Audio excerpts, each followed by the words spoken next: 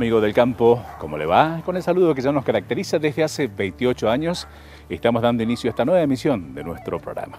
Como siempre estamos en los exteriores de nuestros estudios ubicados en Cerrillos, en el Valle del Lerma. Desde aquí vamos a presentar cada una de las notas que conforman la presente emisión de nuestro programa. Estos son los títulos principales.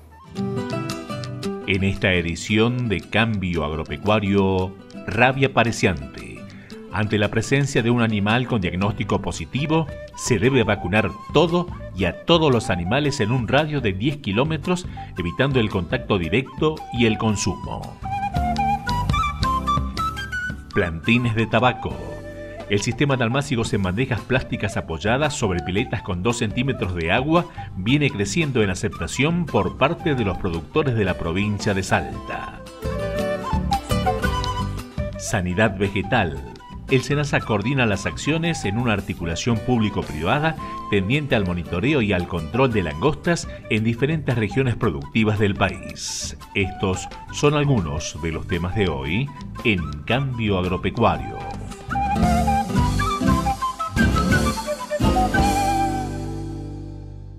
Vamos a iniciar nuestro programa de hoy con la primera parte de una extensa nota que hemos logrado con el doctor Gabriel Russo. Él es el jefe del programa Rapia de Senasa. A continuación se refiere a la aparición de una colonia de más de 400 ejemplares de vampiros comunes en la provincia de Corrientes. También hace referencia a las pérdidas significativas que tiene la producción ganadera producto de la transmisión del virus rábico por parte de este animal. Todavía no terminaron los trabajos de estudio de circulación viral en esa población de vampiros.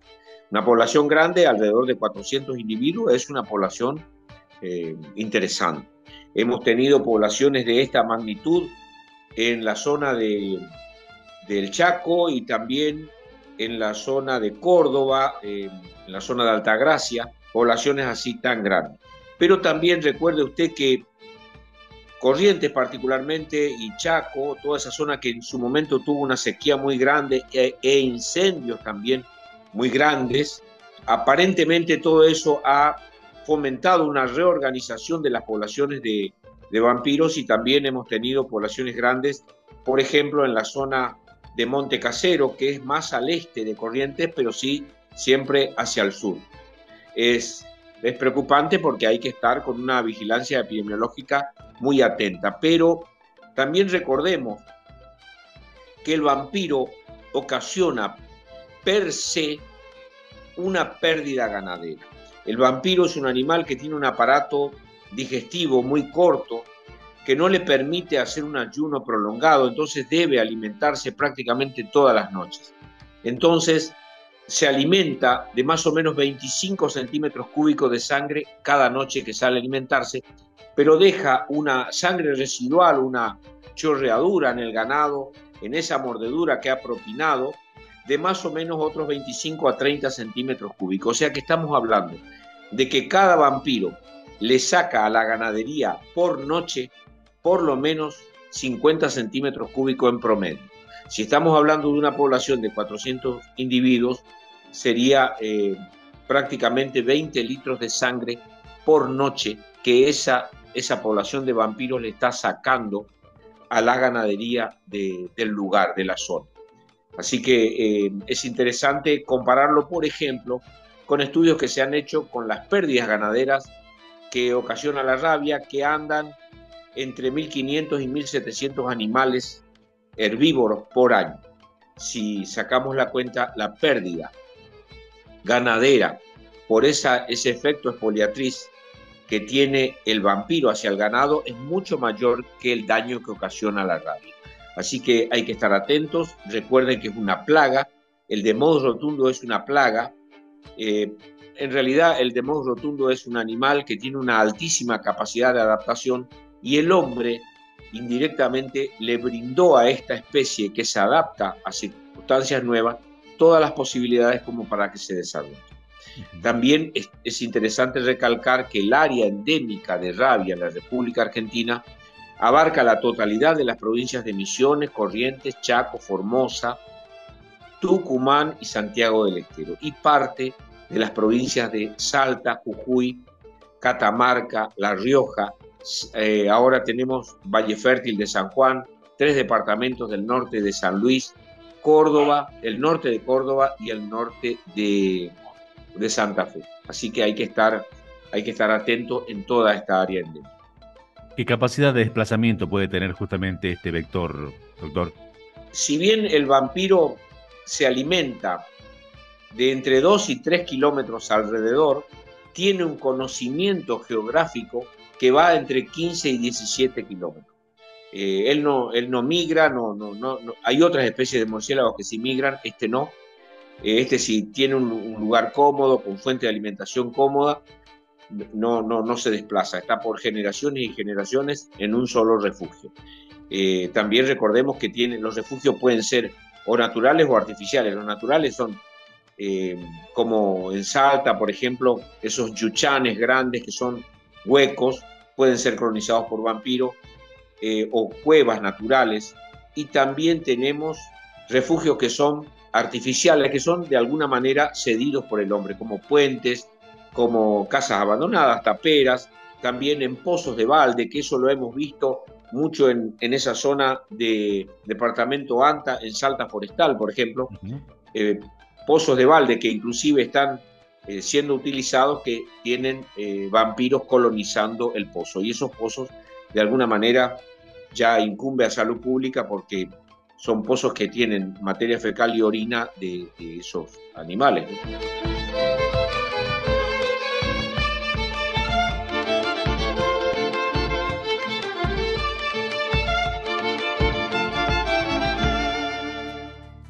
Conocíamos algunas particularidades de la rabia y del vampiro común, el agente transmisor de esta enfermedad. Además, el área que hoy tiene la República Argentina afectada por esta enfermedad. Enseguida continuamos con esta extensa nota que hemos logrado con Gabriel Russo.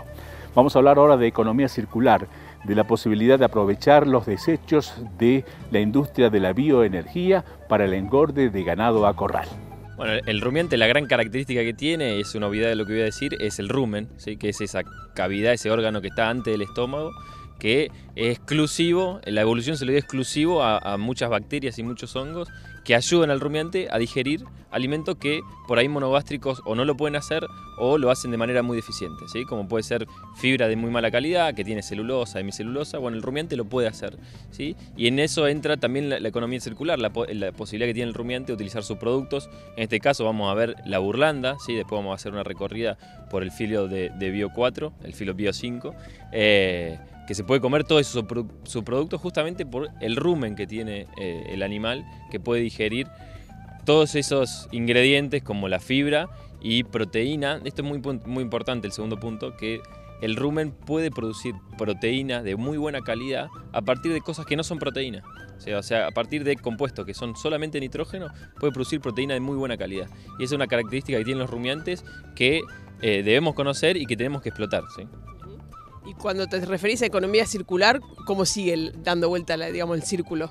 Bueno, justamente eh, es un eslabón, y así se llama el título, un eslabón, un eslabón porque justo, y acá vamos a ver un ejemplo de un feedlot que está eh, encadenado ¿sí? a la producción de etanol. ¿sí? Eh, la planta toma la producción de maíz, produce etanol, produce alcohol que va a ser utilizado en, en la mayor parte en combustible, ¿sí? y produce un subproducto que eh, no tiene mucha utilidad, pero que el rumiante le da muchísima utilidad, ¿sí? que no lo podemos utilizar los monogástricos, tiene fibra, tiene nitrógeno, y el rumiante, ahí está ese eslabón que dio el rumiante de poder utilizar ese subproducto y producir proteína de muy buena calidad para el consumo humano. Entonces ahí es donde cerramos el círculo y digamos un establecimiento como este que se mide la huella de carbono se tiene en cuenta digamos cómo, cómo es la producción y qué, digamos qué sustentabilidad tiene a futuro eh, bueno eh, el tema de la huella de carbono es algo que eh, cada vez más investigaciones se están haciendo sobre el tema y es importante que la hagamos es importante que la midamos y es importante conocerla sí para saber qué impacto tenemos sobre sobre ese sobre el carbono y sobre el dióxido de carbono que estamos emitiendo en la atmósfera estos conocimientos que ustedes aplican acá, ¿vos crees que son replicables a otros, otros establecimientos este, ganaderos? Sí, sí, no solo son replicables, sino que ya se están replicando en, Argentina y en todo el mundo. Estados Unidos como, como un, no sé si un faro, pero un ejemplo que se puede, se puede nombrar, eh, donde los estados del, del cordón, maíz, del cordón maicero, el cinturón maicero, que son grandes productores de etanol, son los que más cabezas encerradas tienen, justamente por eso, porque el rumiante puede comerse todo ese subproducto de esa industria y producir proteína de buena calidad, que es lo que nos, eh, nos permite cerrar el círculo de la economía circular.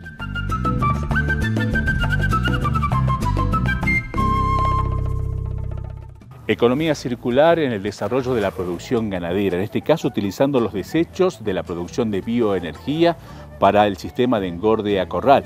La palabra de Pedro Sueldo, asesor en producción ganadera. Ahora le voy a presentar nuestra primera pausa comercial. Ya volvemos.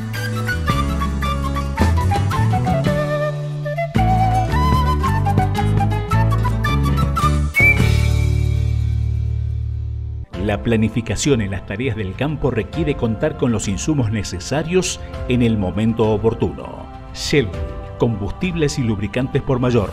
Servicio de entrega en finca, logística inmediata. Contáctenos al 387-402-9604.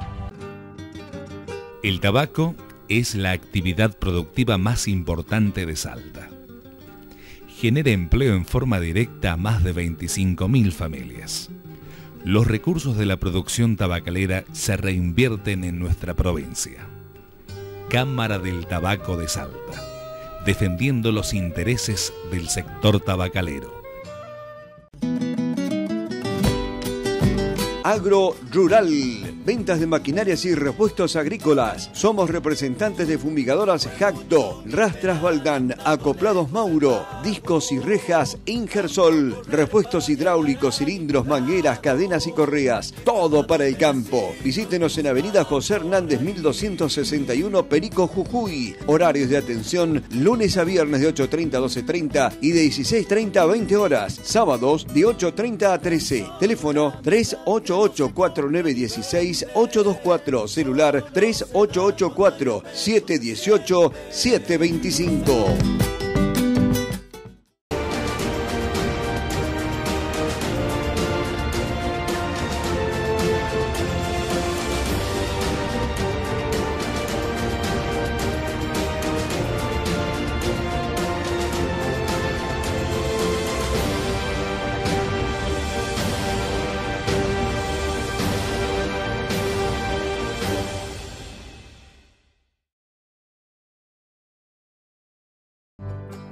Fertinorte, los fertilizantes de la Cooperativa de Productores Tabacaleros de Salta. Formulaciones específicas para mejorar la relación costo-beneficio. Fertinorte. Asociación Mutual de Productores Tabacaleros de Salta. Provisión de insumos y servicios para contribuir al fortalecimiento del sector productivo.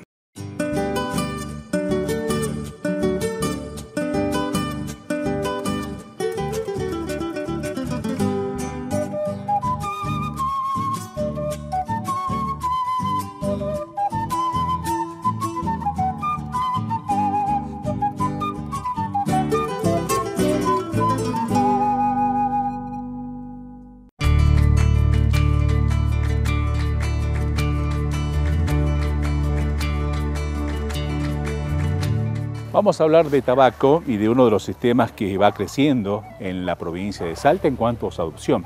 El sistema de bandejas apoyadas sobre pelo de agua o sobre un volumen de 2 centímetros de agua en cada pileta.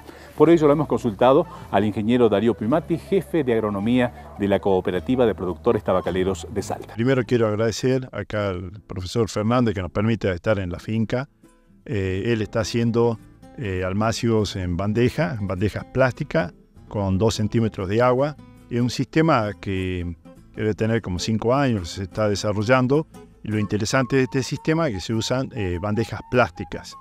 Eh, diferente al almacio flotante, que se usan bandejas de telgopor. En este caso, eh, lo práctico de este sistema es que tiene una, lleva una cantidad de agua, son 2 centímetros de agua, que es lo que el sistema eh, hace que, soporte y esté muy bien que no se estén haciendo los riegos por arriba. Entonces, eh, lo bueno de este sistema es que se utilizan bandejas plásticas y uno de los puntos que nosotros teníamos con respecto a los almacios flotantes es la desinfección de las bandejas. ¿sí? y también la reposición de bandejas en el almacio flotante. En cambio, en este sistema lo que tenemos que al usar eh, bandejas plásticas hacemos de que eh, la desinfección de estas bandejas sea mucho más simple, la limpieza también más simple, dentro del, del tramado de esas bandejas no queden esporas de hongo, no queden virus o alguna otra bacteria. Entonces, eh, eso es lo práctico de este sistema, lo confiable que me hace el sistema en cuanto a la sanidad. Entonces, una de las técnicas que nosotros estamos promoviendo en esto es eh, hacer esta práctica. Nosotros estamos viendo que ha crecido bastante la técnica esta de almacios en bandejas. Estimamos que más o menos está en un 30% este sistema más un 20% de almacios en bandejas eh, con riego, porque este sistema, si uno eh, no le agrega el agua abajo o no lo hace en piletas, como estamos viendo que están construyendo aquí atrás, es un sistema que se puede hacer eh, por arriba. Es la misma técnica, nada más que nos lleva el agua por abajo en la pileta y se hacen riegos arriba. Lo único en ese sistema es que eh, cada vez que se riega se tiene que agregar fertilizantes y los insecticidas o fungicidas. Yendo a este sistema, lo que eh, la práctica también nos dice, se han desarrollado dos tipos de bandejas de distinta cantidad de celdas, una de 128 celdas, que es lo que está usando acá el productor Fernández, y hay otro de 162 celdas. Es a criterio del productor que quiera utilizar algunas de esos dos tipos de bandejas. Lo que tiene también es que las bandejas son del mismo tamaño. Lo que varía es la cantidad de celdas que tiene. Entonces, la de 128 celdas es de un determinado eh, volumen, donde se utilizan eh, un poco más de bolsas y produce menos plantines. Para este caso estamos usando cerca de 130 bandejas en este caso y para el caso de las de 162 celdas estamos usando 120 bandejas más o menos para producir una determinada cantidad que es lo que nosotros recomendamos para eh, una hectárea, que son cerca de 20.000 plantines por hectárea, 20.500 plantines. Lo interesante de esta técnica es que nosotros recomendamos al productor que tiene que estar el suelo bien nivelado. Eh, se utiliza también un plástico para armar la pileta de 200 micrones o, un plástico que sea confiable, que no esté perforado. Una vez que se llenaron con turba las bandejas, eh, se semillaron, se colocan en la pileta y ahí en ese momento se comienza a agregar el agua de manera que siempre tengamos 2 centímetros de agua dentro de esa pileta.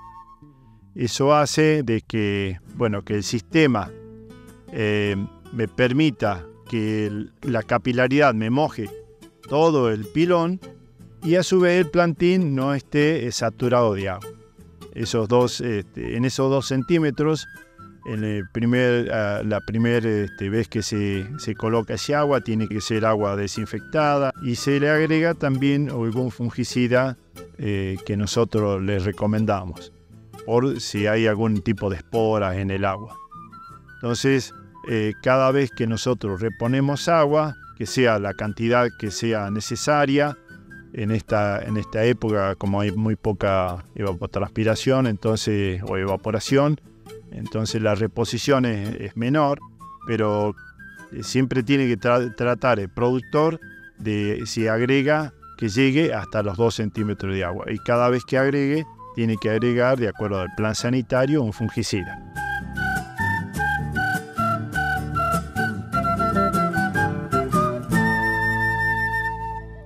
Una de las tantas prácticas sustentables que promueve la Cooperativa de Productores Tabacaleros de Salta, los plantines de tabaco utilizando bandejas plásticas con el sistema de apoyo sobre piletas con 2 centímetros de agua. Conocíamos algunas particularidades de esta técnica y vamos a seguir dialogando con el ingeniero Darío Piumati en los próximos bloques de nuestro programa. Volvemos a la nota que hemos logrado con Gabriel Russo, él nos está hablando hoy de rabia pareciante. Vamos a conocer cómo se desarrolla la transmisión del virus rábico entre los vampiros y también cómo se contagia al ganado y por supuesto a los animales. Y también algunas recomendaciones que son sumamente útiles para evitar riesgos en el desarrollo de la actividad ganadera. En realidad el vampiro no es portador sano del virus. Eh, él se enferma como cualquier herbívoro. Lo que sucede es que el virus está adaptado a esta especie y perdura un momento más que en los herbívoros. Entonces eso le posibilita al virus poder localizarse en saliva, en glándulas salivares. Entonces estos animales que, que son muy mordedores, se defienden mordiendo y se alimentan mordiendo, transmiten la enfermedad. Pero en realidad la enfermedad se transmite de vampiro a vampiro por mordedura. Lo que pasa que lo observamos en los herbívoros porque son su fuente de alimentación. De alguna manera estos herbívoros se comportan como un fondo de saco, como un eslabón terminal. Si bien existen posibilidades de contagio, son de forma pasiva. El vampiro ha evolucionado contagiando a su congénere y ese a otro, pero el vampiro termina indefectiblemente muriendo. Baja su población. Cuando baja su población, aparecen en los brotes de rabia lo que se conoce como periodos interepidémicos sin la enfermedad, que hace que no exista rabia en un lugar hasta tanto esa población que ha disminuido por el brote de rabia se recomponga nuevamente y vuelva a estar en condiciones eh, con animales susceptibles para la enfermedad. Así que hoy día el mejor control biológico que tiene el vampiro es la rabia, porque diezma poblaciones de vampiros. ¿Cuánto tiempo permanece el virus o la enfermedad, digamos, en ese ambiente?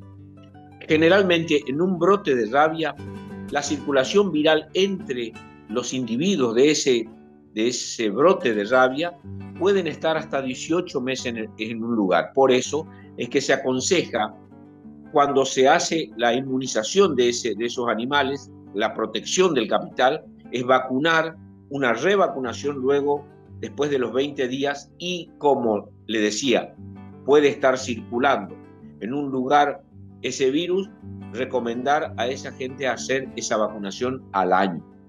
¿Cuál es la sintomatología que se puede llegar a ver en los animales que han sido ya infectados con este virus?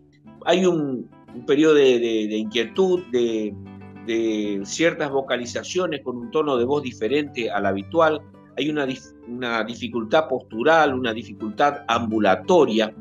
El animal se empieza a acostar y a levantar cada vez con mayor frecuencia, eh, tiene una postura más arremetida, tanto las manos como las patas no están en una posición normal como se pararía una vaca, un caballo, una oveja, eh, un, cerdo.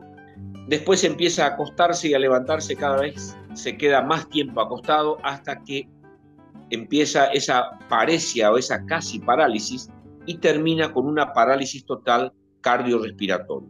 Eh, hay un, lo que se conoce en medicina como de cúbito lateral, generalmente, no siempre, queda acostado, de, eh, de costado, con un movimiento de pedaleo tanto de manos como de patas. Hay lo que se conoce como opistótono, que es tirar la cabeza para atrás. Hay intensa salivación. Con esos movimientos de manos y de patas y de cabeza, hay como una carpida, como una limpieza del suelo donde ese animal está agonizando tiene una materia fecal muy, muy seca y como hay toda una parálisis del tren posterior también, casi no orina o orina a gotitas. No tenemos en la rabia ningún síntoma pateunomónico, o sea, un síntoma que nos indique esto es rabia.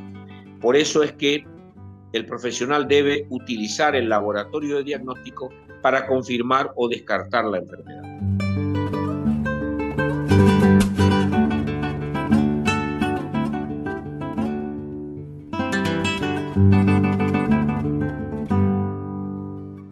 prestar atención al comportamiento de los animales, si hay alguna anormalidad, por supuesto, consultar al profesional veterinario para que de alguna forma evacúe cualquier tipo de dudas respecto de una consulta en el laboratorio de diagnóstico y saber si realmente existe esta enfermedad en los rodeos. Enseguida la conclusión de la nota que hemos logrado con Gabriel Russo. Ahora le propongo nuestra segunda pausa comercial. Ya volvemos.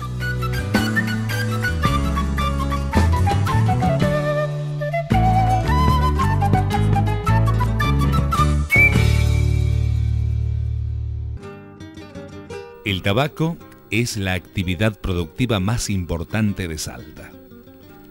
Genera empleo en forma directa a más de 25.000 familias. Los recursos de la producción tabacalera se reinvierten en nuestra provincia. Cámara del Tabaco de Salta, defendiendo los intereses del sector tabacalero. Asociación Mutual de Productores Tabacaleros de Salta provisión de insumos y servicios para contribuir al fortalecimiento del sector productivo.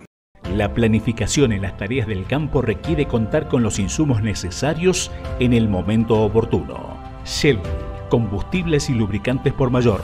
Servicio de entrega en finca, logística inmediata. Contáctenos al 387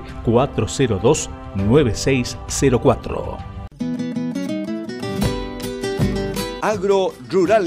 Ventas de maquinarias y repuestos agrícolas. Somos representantes de fumigadoras Jacto, Rastras Baldán, Acoplados Mauro, Discos y Rejas Ingersol, repuestos hidráulicos, cilindros, mangueras, cadenas y correas. Todo para el campo. Visítenos en Avenida José Hernández 1261 Perico Jujuy. Horarios de atención lunes a viernes de 8.30 a 12.30 y de 16.30 a 20 horas. Sábados de 8.30 a 13. Teléfono 388 4916 824 celular 3884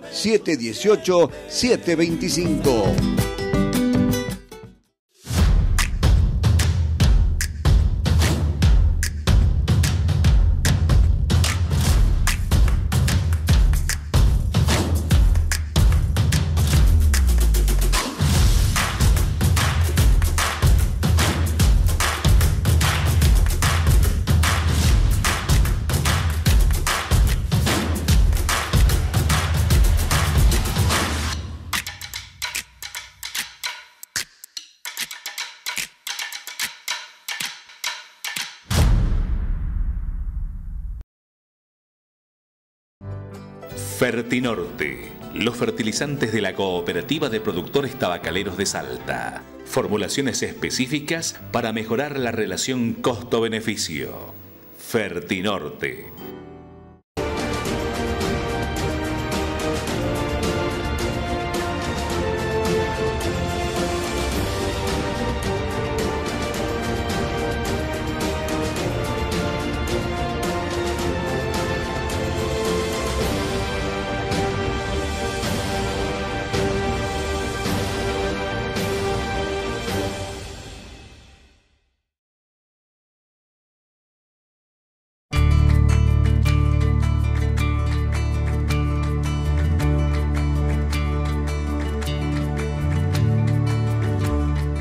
Vamos a dialogar con el ingeniero Héctor Medina de la Dirección de Sanidad Vegetal de SENASA.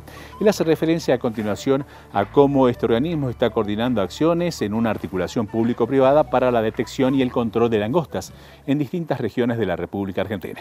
Bueno, la langosta es una plaga histórica, una plaga considerada bíblica a nivel mundial. Se trata de un insecto que tiene la particularidad de moverse volando en forma de enjambre, nubes de, millones de insectos, que tiene la capacidad de desplazarse 150 eh, kilómetros en un día. Es por eso que es una plaga particularmente compleja de manejar, es considerada una plaga migratoria transfronteriza que causa muchos problemas a nivel mundial. Puntualmente en Argentina, Bolivia y Paraguay está presente la denominada langosta sudamericana y es una especie que está moviéndose de forma permanente entre los tres países, sobre todo desde el año 2015 donde hubo una resurgencia muy importante de, esta plaga. Tenemos desde SENASA un sistema de vigilancia permanente, es decir, monitoreos constantes a campo. Empezamos a detectar algunos focos de, esta plaga en distintas provincias del país.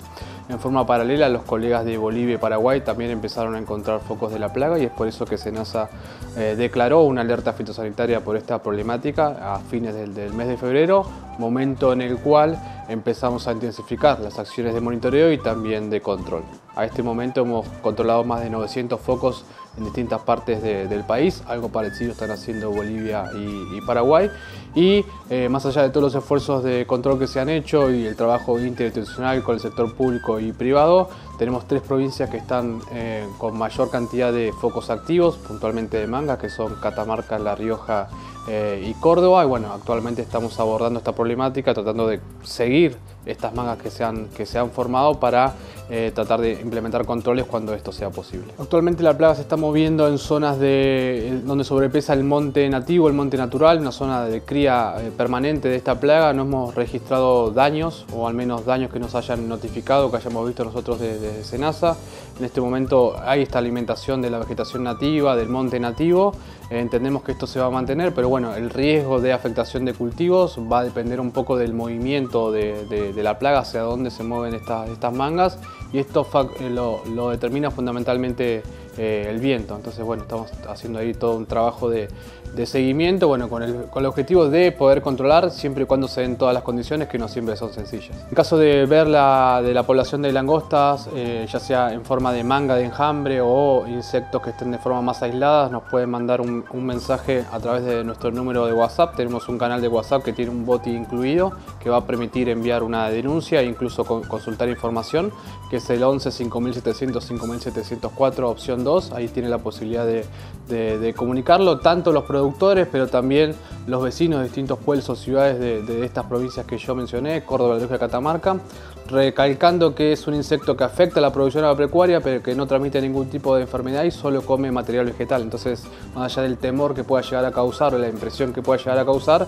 llevarles la tranquilidad que no tiene un daño al ser humano y los animales.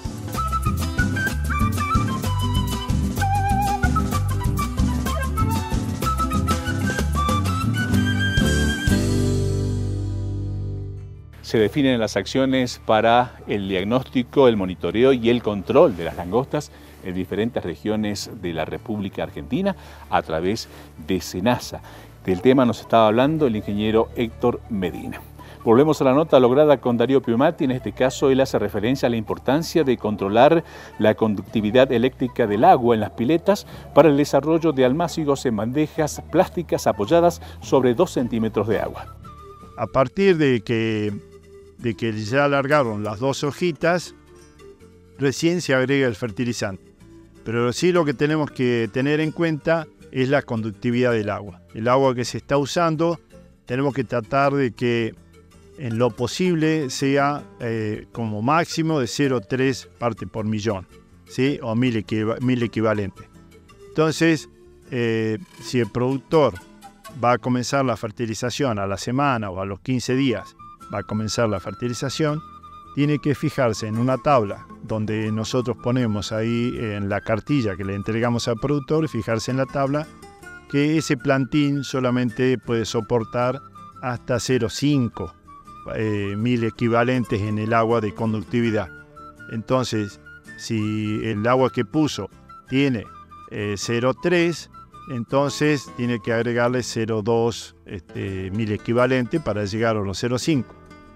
Esto es muy, tiene que llevarlo con muy buen control por el hecho de que la conductividad eléctrica que yo tengo en ese agua, si es muy alta, eh, me lo intoxica el plantín y me produce problemas dentro de, todo ese pilón. Entonces hace de que la raíz no pueda desarrollarse, no, no se desarrolle la plantita. Entonces nosotros tenemos una tabla para ese caso donde el productor se tiene que fijar de acuerdo al fertilizante que va a usar, que fijarse que cada 100 gramos en 1000 litros de agua se eh, modifica la conductividad de ese agua, por ejemplo, en 0.1, en 0.5. ¿sí?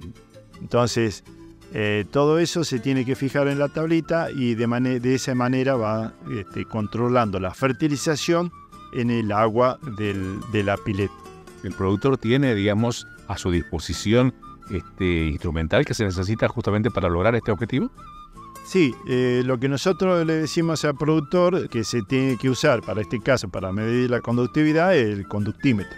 Entonces, Si el productor no lo tiene, bueno, nosotros ahí en el departamento, los técnicos, cada uno tiene un conductímetro y un pHímetro, entonces va midiendo eh, a medida que el productor antes de agregar el agua o cuando ya tiene la solución preparada, generalmente le recomendamos preparar la solución en un tacho de 200 litros y ahí a medida que, que va necesitando agua va agregando en la pileta. Entonces en esa solución se tiene que fijar qué conductividad tiene de manera de que eh, sumarle a la que ya tiene en el agua, bueno, todo eso me da la cantidad de conductividad que tiene que tener el agua de acuerdo al tamaño del, del plantín. Por ejemplo, un plantín terminado, no hay inconveniente que la, conductividad eléctrica esté en 1, en 1,2, 1,3, hasta 1,5. Un plantín terminado puede llegar hasta ese, a esa concentración. Entonces, pero al inicio es importante que tenga en cuenta esa tablita. Ser riguroso en estos aspectos sin duda va a tener como premio el hecho de tener plantines sanos y evidentemente lograr la sanidad que uno necesita para este objetivo. Sí, así es, porque el hecho es de que si se le pasó la conductividad, porque a lo mejor ve que, que este, no tenía para controlar la conductividad eléctrica del agua, entonces eh, lo llama el técnico y si ve que, está muy alta la conductividad, entonces lo mejor que hay que hacer es sacar un poco de ese agua y aumentar agua, eh, agua limpia. Entonces, de esa forma es conveniente bajar la conductividad. Y si ve que el pilón, porque el pilón también puede tener una conductividad alta, entonces es conveniente regarlo de arriba a, las, bandejas, entonces hace que esa conductividad baje. Lo importante de esto es que este, la fertilización siempre me va a modificar la conductividad. Entonces, también ocurre en los almacios flotantes, ocurre en este sistema con 2 centímetros de agua, y en los otros dos sistemas, en el sistema convencional y el sistema de bandeja apoyada con río por arriba, eso no tenemos problema de conductividad.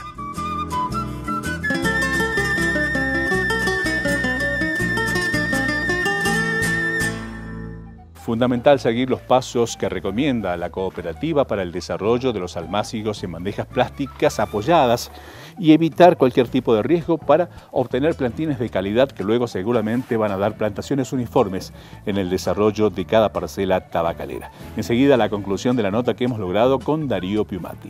Ahora es momento de presentar nuestra última pausa comercial.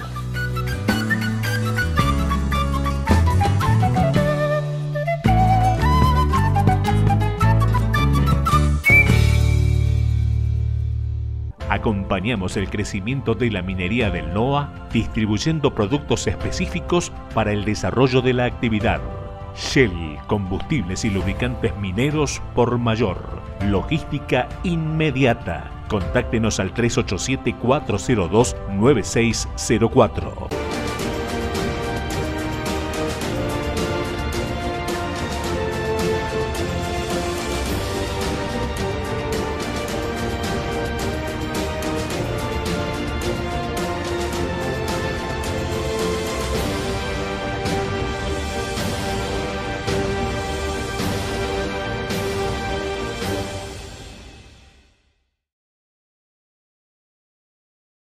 Asociación Mutual de Productores Tabacaleros de Salta. Provisión de insumos y servicios para contribuir al fortalecimiento del sector productivo.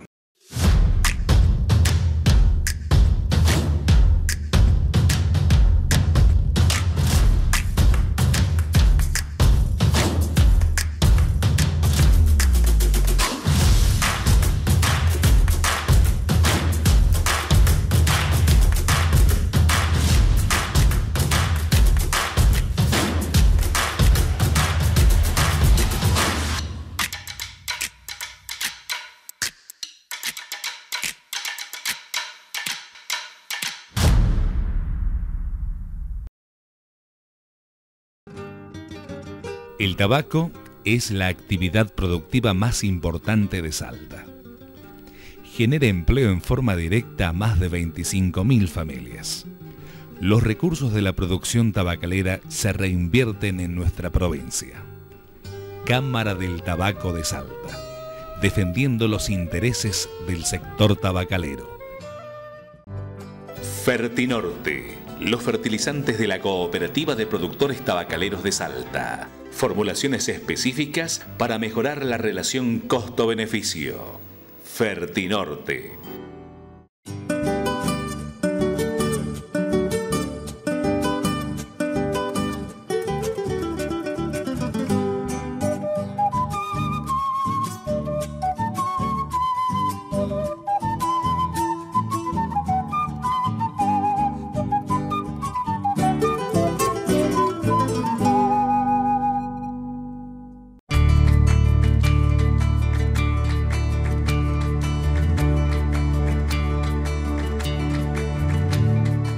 Vamos a conocer qué se debe hacer cuando se diagnostica un caso positivo de rabia en los rodeos. Por ello, seguimos dialogando con Gabriel Russo, jefe del programa de rabia de Senasa. Si tenemos en, en un punto un animal con diagnóstico positivo de rabia, por laboratorio hay que vacunar. ¿Vacunar qué? Vacunar todo, todo lo que está. Ahora, si todavía no lo tenemos diagnosticado, sospechamos de la enfermedad, es seguir a ese animal y si ese animal llegase a morir, enviar ese material nervioso para diagnóstico de laboratorio. Si nos da positivo, lo que le decía, vacunar todo. Pero no solo vacunarlo del establecimiento, sino vacunar en un radio de 10 kilómetros. ¿Por qué 10 kilómetros? Porque si yo hoy encuentro un animal caído con rabia, el vampiro que mordió a ese, a ese animal con un periodo de incubación de 30 días, ya contagió a otro congénere y ese otro también incubó y ya contagió también la enfermedad. Es por eso que hacemos una multiplicación por 3, que es más o menos el radio de acción de un vampiro es de 3 a 4 kilómetros, estamos hablando de 3 por 3, 9, 3, 3 por 4, 12, más o menos el trabajo es en esos 10 kilómetros de radio donde no se permite, hasta tanto los animales no estén inmunizados, el consumir esos animales que posiblemente estén rabiosos. Además tampoco de manipularlos demasiado o de tener, digamos, un contacto directo, ¿no? Por supuesto, por supuesto, por supuesto. Eso es lo que se recomienda. Se recomienda cuando aparece un animal con sintomatología nerviosa, no tocarlos e inmediatamente dar aviso al profesional que tiene en su establecimiento o a un profesional del SENASA o de otra repartición, que, acudiremos al lugar a, hacer las acciones correspondientes. Y también, si dentro de su establecimiento detecta que pueden eh, haber refugios de, vampiros, comunicarse, no tomar cartas en el asunto y comunicarse con el SENASA que el tratamiento será hecho para evaluar el lugar si corresponde o no bajar la población de vampiros. No tomar cartas en el asunto, estar queriendo bajar la población por, cuenta del productor, porque puede haber un montón de accidentes que tratamos de, evitar. El ser humano es susceptible a esta enfermedad. Por supuesto, es una zoonosis. Y es una zoonosis, ¿qué quiere decir? Que es una enfermedad que puede ser transmitida de los animales al hombre. Una vez que empiezan los síntomas, es la muerte indefectible. Por lo tanto, la recomendación sería que si notasen algún animal con esa sintomatología o la detección de algunos vampiros en un establecimiento, en un campo, informar directamente a Senasa sería la mejor opción. Sería la mejor opción. Y si ya está dentro de un brote de rabia, también todo animal que esté en el establecimiento debe ser vacunado. También recordemos que hay, para resumir, tres clases de vacunaciones antirrábicas para los establecimientos ganaderos. Una es la vacunación en esto, cuando tengo un brote de rabia, es una vacunación de emergencia y esa vacunación emergencial es lo que hablaba anteriormente, una primera vacunación, una segunda después de los 20 días y una tercera a los 18 meses estando, o sea, al año puedo volver a repetir. Tenemos una vacunación especial que es la que recomendamos a establecimientos especiales, como por ejemplo engorde a corral, aras, cabañas, eh, todo ese tipo, animales de deporte, todos los herbívoros que sean de deporte deben estar con la vacunación al día.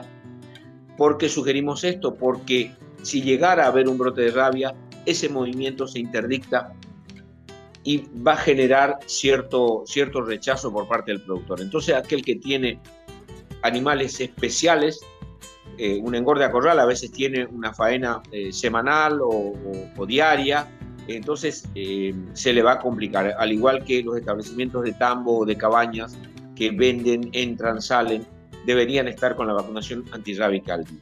Y una tercera forma de vacunación que es la voluntaria.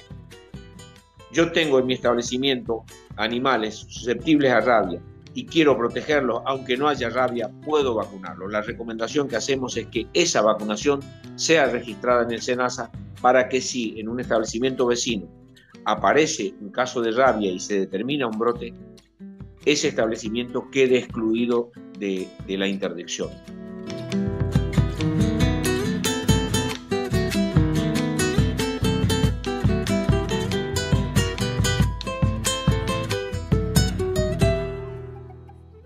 Ante la presencia de un animal con diagnóstico positivo de rabia, se recomienda vacunar todo y a todos los animales en un radio de 10 kilómetros. Además de algunas particularidades acerca de la vacunación en establecimientos especiales con alto movimiento de Hacienda. Estábamos dialogando con Gabriel Russo, jefe del programa de rabia de Senasa. Y ahora también la conclusión de la nota que hemos logrado con Darío Piumati. Él nos está hablando hoy de almácigos de tabaco en bandejas plásticas apoyadas. En este caso vamos a conocer algunos aspectos referidos a la fertilización y por supuesto al manejo de estos almácigos. Una vez que hicimos, eh, vamos haciendo el plan de fertilización, que generalmente se hace una vez por semana o cada 15 días se le va agregando agua y a su vez se le va agregando la fertilización se le va haciendo, agregando los fertilizantes y a su vez también los fungicidas. Y después, si hay algún insecticida para aplicar, todo eso se aplica por arriba, con mochila, o excepto en la regadera, si tiene que agregar algún insecticida con regadera. Pero eso sería un poco el plan sanitario, que es bastante simple, y el control que se tiene que hacer de esos plantines, que no le aparezca, en este caso nos puede aparecer dos enfermedades, una puede ser el pitium, que aparece en el sistema radicular. Entonces eso lo vemos cuando las raíces están marrones. Entonces lo que hacemos en ese caso es aumentar la dosis de fungicida. A lo mejor estamos trabajando en dosis de fungicida bastante baja. Ahí en, el, en la cartilla lo, tenemos, tenemos la cantidad que es necesaria.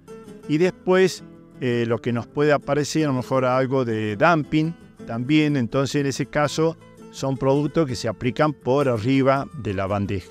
En ese caso lo podemos aplicar con regadera, lo podemos aplicar con una mochila. Esos son los dos casos que tenemos de problemas de hongos.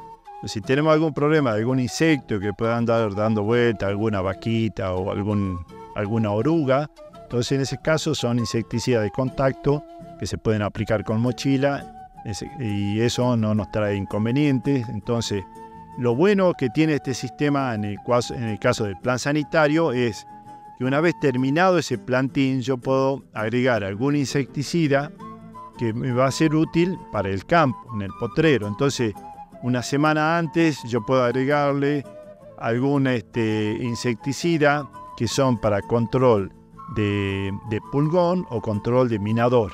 Entonces, en ese caso, agrego los insecticidas a eso. No es necesario después que yo esté haciendo la aplicación planta por planta en el potrero, en ese caso ya llevo el plantín con ese insecticida, que puede ser el lactar, el confidor, alguno de esos insecticidas que son muy buenos y me controlan tanto el pulgón como el minador. Eso hace de que este plantín vaya ya curado, no tenga problemas después de alguna oruga que también puede ser que me aparezca en el potrero en el momento que hago el trasplante y bueno, eso es un poco lo que podemos hablar de este sistema que tiene muchas ventajas. Las desventajas son muy pocas, pero sí le recomendamos al productor que tenga en cuenta que es una observación prácticamente diaria que tiene que hacer de los plantines, sí darse cuenta que en esta época que tenemos fríos este, a la mañana de 2 grados, 3 grados, tienen que estar cubiertos esos plantines. Puede ser que a lo mejor haga frío, a lo mejor de grados bajo cero, de un grado, dos grados bajo cero, entonces cubrirlo con, dos filtrones. Eh, puede ser que se retrase un poco el plantín porque no están en contacto con la tierra directa, la, tierra siempre hace eh, un poco de, buffer con respecto a la temperatura. Bueno, en este caso lo que tiene que son plantines que van con todo el sistema radicular y el trasplante es muy práctico, tiene ese trasplante mecánico, es lo que les recomendamos. y a su vez que va todo el sistema radicular y el plantín a los dos o tres días ya comienza a desarrollar todo el sistema radicular en el suelo y se implanta sin ningún inconveniente. Una ventaja más que hablábamos ya en notas anteriores que tiene que ver justamente con la no utilización de mantillo para el desarrollo de estos almáceos. Claro, en este caso estamos usando este turba con algunos otros componentes orgánicos. También en este sistema se pueden agregar algún fertilizante biológico, algún insecticida biológico o, productos orgánicos. Eso es muy bueno para, para esta técnica. Y bueno, lo que tiene es que eh, todo esto me da confiabilidad con respecto al plantín que va a aprender en el potrero y sé que a lo mejor los 3, 4 días yo ya puedo fertilizar en el lote y me lo va a tomar al, al fertilizante. ¿sí? Bueno, ante cualquier duda, como siempre decimos, que los técnicos de cooperativa están para evacuar cualquier tipo de consulta. Sí, así es. Además, este, nosotros le comunicamos al productor a través de, las redes sociales, le enviamos las cartillas, le enviamos el plan sanitario y cualquier comunicación con respecto a la actualización de estos puntos y después cualquier comunicación que necesite de cooperativa, también el Departamento de Agronomía, estamos a disposición del productor y bueno, esperamos que este sistema le sea muy favorable.